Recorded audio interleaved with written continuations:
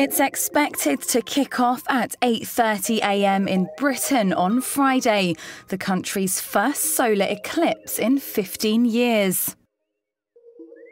The Earth, Moon, and Sun are set to align in the country's most spectacular solar eclipse since 1999.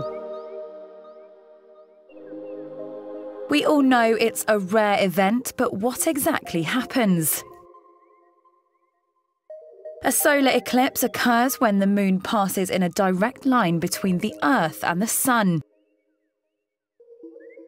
The moon's shadow travels over the Earth's surface and blocks out the sun's light as seen from Earth.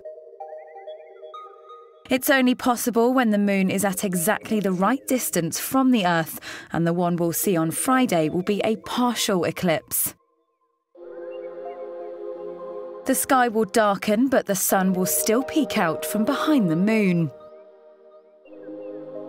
The longest total solar eclipse of the 20th century occurred on July 22, 1999, over India, Nepal, Bhutan, and China.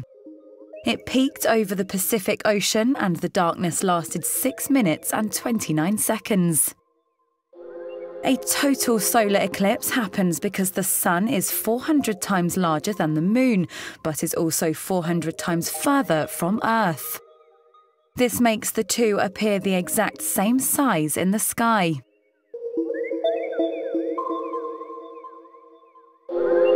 It's a bit of a myth that a solar eclipse once signified the end of the world, but it seems we're all still here. In parts of India, people fast during a solar eclipse because of the fear that any food cooked during the event will be poisoned. In Vietnam, it was once believed that a giant frog was eating the sun, while in ancient China, they believed a dragon was thought to be responsible.